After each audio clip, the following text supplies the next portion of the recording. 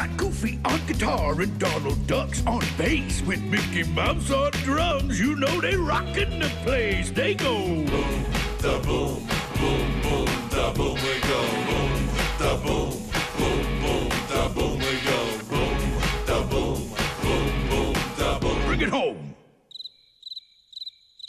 Oh, Gram Gram used to sing that?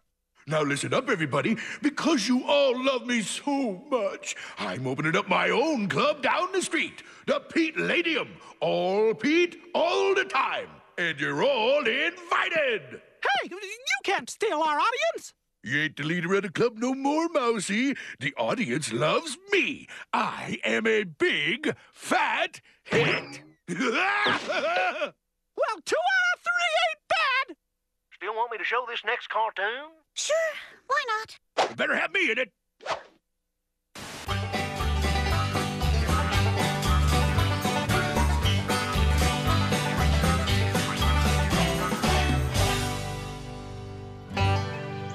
Somewhere within these happy hills, all is peaceful.